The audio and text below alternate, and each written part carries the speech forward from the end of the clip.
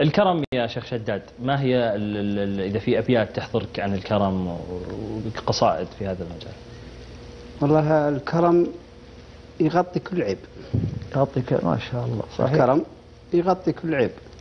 وسبحان الله العظيم حتى لو الإنسان عنده عيوب إذا صار كريم كل عيب عنده يختفي. يا سلام. ف اللي صار الجار كريم مع جيرانه يعني تجد كلهم يحبونه. يعني آه، سبحان الله العظيم آه، لو تسأل آه، أحد يجي قال والله فلان ونعم والله رجال كريم ورجة عمر. أول ما يذكرون هالميزة ذي. وأنت الآن تتخيل الآن حتى أنت الآن تذ- تشوف جيرانك اللي والله فلان طعم الرجال الكريم أول ما يطلع عليك ال- المنزلة هذه هي أعلى شيء. خلاص الباقي كله تحتها. نعم. هذه كل لذلك الكرم يستر كل شيء. وما يحضر لي سبحان الله العظيم من يعني. القصص وفيها ابيات هذا جار لنا 45 سنة. هو جار. من يوم إني ورع عمر. إلى الآن شايف هو جار لنا. سبحان الله. يعني فسبحان الله العظيم قدام بيت الوالد. لكن سبحان الله العظيم الرجل هذا الخلق لذلك فيقول فإنما الأمم الأخلاق ما بقيت. عنهم ذهبت فإنهم ذهبت. خلاقهم. هم ذهبوا. ذهبوا. لذلك الخلق قال الرسول صلى الله عليه وسلم وأنا زعيم بيت في أعلى الجنة لمن حسن؟ خلق خلقه خلقك. مع جيرانك يستر كل عيب. يا سلام. يعني كرامك مع جيرانك يستر كل عيب. يعني الآن آه، فالرجل هذا سبحان الله العظيم مع الصغير مع الكبير مع مع آه، سبحان الله العظيم الجيران كلهم آه، على ما قالوا على سقف واحد. ما شاء الله. ما يفضل الجار حتى إن يعني صار آه، في مشكلة مع هوشة أطفال مع أحد جيرانه وجاه ولده مطعون. ذي حصل. لا. اي يجون عيالة العمر قالوا ودوه المستشفى ولا تشتكون جاري في ولده هل الله.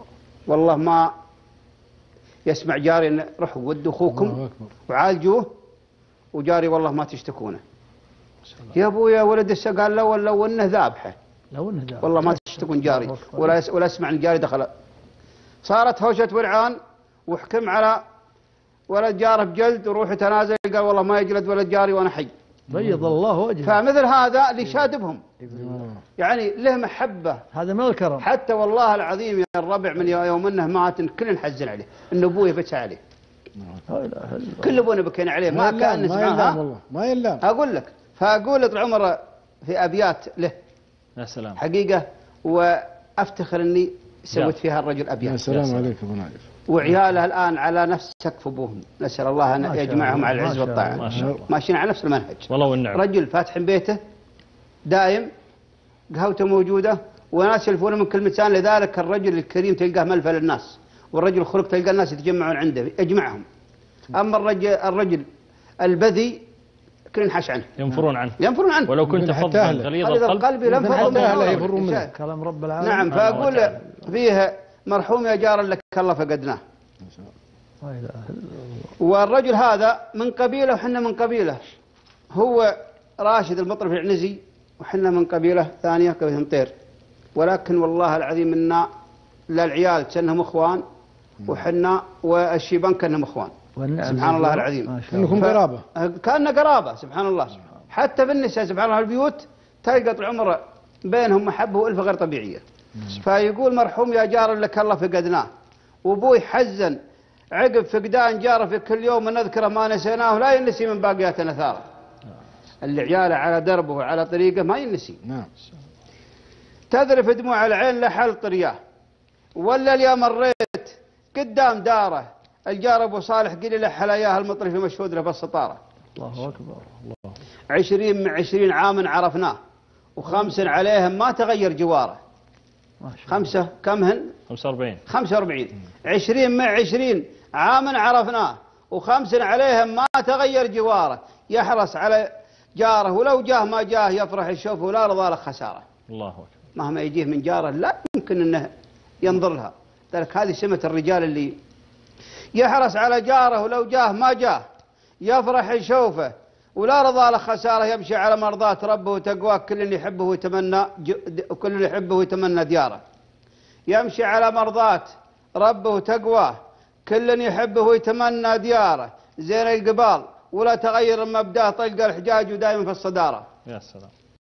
الكيف والم ولا جاوي تلفاه ودلال صفر مساطرة جم ناره يفرح بضيفه لا لفه ويتلقاه بوجه بشوش وبنبه والحرارة ولا قلط مجلسه ما تعدى سن خبير وماسك الا خفارة. الله أكبر. لا يمكن أجلس. صبك القهوة؟ لا يمكن أجلس. ولا يرضى أنك تصب القهوة أنت. يقف عليك لا تخلص قهوتك هذه عادت له من 45 سنة. لا إله إلا الله. ما شاء الله. يفرح بضيفه لا لفا ويتلقاه بوجه بشوش وبنبه والحرارة ولا قلط بمجلسه ما تعدات سنه خبير وماسك الا خفارة. وخلاف له فهود على ما تمناه. لا جيتهم سنك مجلس أمارة. مشوا على دربه وسووا سواياه الباب فاتح والحطب فجارة. الله. مشوا على دربه وسووا سواياه الباب فاتح والحطب فجارة. آمين يا ربي عسى الخلد مثواه. وبجنة الفردوس داره وقراره.